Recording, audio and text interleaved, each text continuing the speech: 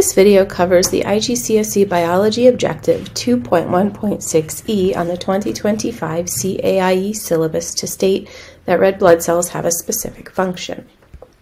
So here, here we are looking at the specialized cell red blood cells. This is what it looks like.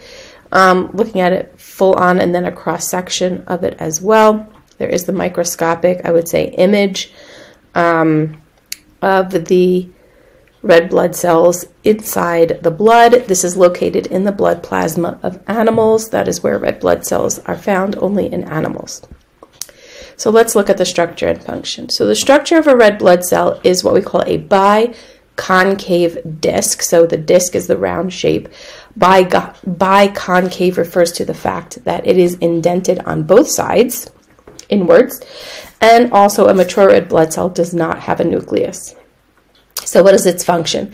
The function of a red blood cell is to transport oxygen from the lungs to all the cells of the body that require energy, which are all the cells.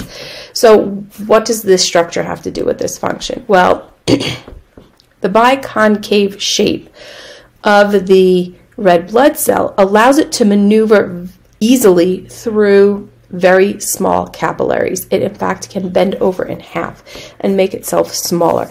It also creates a little um, I would say, seat or area for the oxygen to attach itself to and to be carried through the liquid, which remember is the plasma and is being pushed through the body by the heart at very high speeds.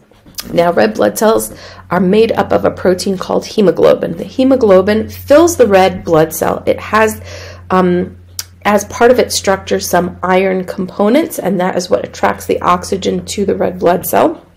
It is also what makes the red blood cell red because remember, iron is going to oxidize in the presence of oxygen and water.